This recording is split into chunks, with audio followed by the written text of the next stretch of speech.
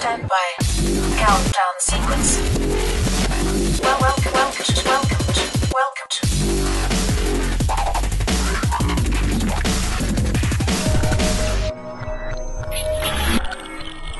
Greetings and welcome to the all new BTS. It's Q103 behind the scenes, where we take a look at, well, something that we did on the morning show today and talk about what we're going to do on the morning show tomorrow.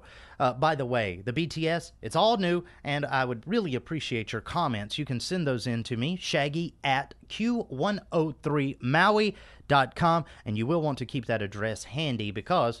Well, you'll see in a sec. Let's dive into our, our big Q of the day. I asked you about conspiracy theories and found one of my own to uh, put out there, okay? We all know how much Monsanto is so bad, right? And they do this thing called GMO, genetically modified organisms. Well, what if it was a GMH, a genetically modified human?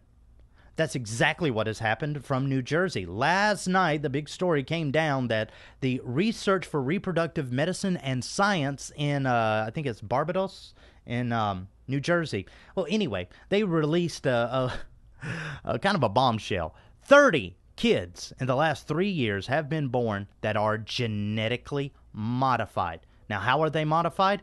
Okay, this is the kind of cool part. If you're a woman that has trouble conceiving, you know how heartbreaking it is to have a child.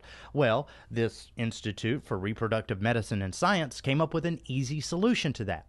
Take the genetics from a healthy childbearing woman into a unhealthy childbearing woman, mix it with the DNA of the father, bada bing, bada boom, science happens, and then all of a sudden you have a baby. That's great, right? You're thinking, hey, cool, we can now give kids to people that actually want kids. Well, here's the problem the human germline or the genome now, for these 30 kids, contains not two, but three sets of DNA that they can pass on to the next generation. What does this mean? It's the first time in human history that we have ever tampered with human DNA and it's able to reproduce. And what does this mean in the long term? Nobody knows, and even science is guessing that either A, we could uh, end up in a society with designer babies. Hey, you want your kid to have red and pink eyes?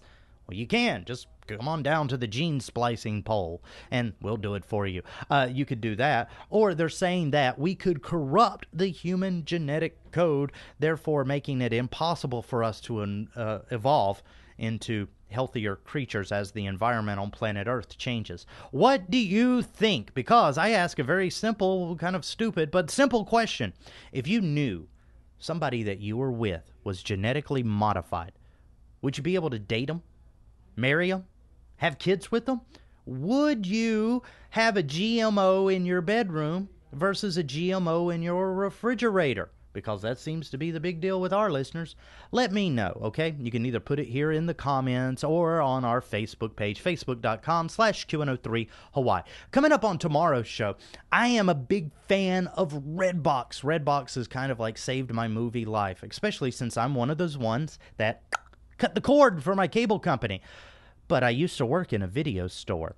So tomorrow's show is all about renting videos and where you do it and how you do it. Okay? So tune in 6 to 10 a.m. at Q103. We're at 103.3 and 103.9 FM in Hawaii and online worldwide, Q103Maui.com, and of course through our very handy dandy Maui radio app. Okay.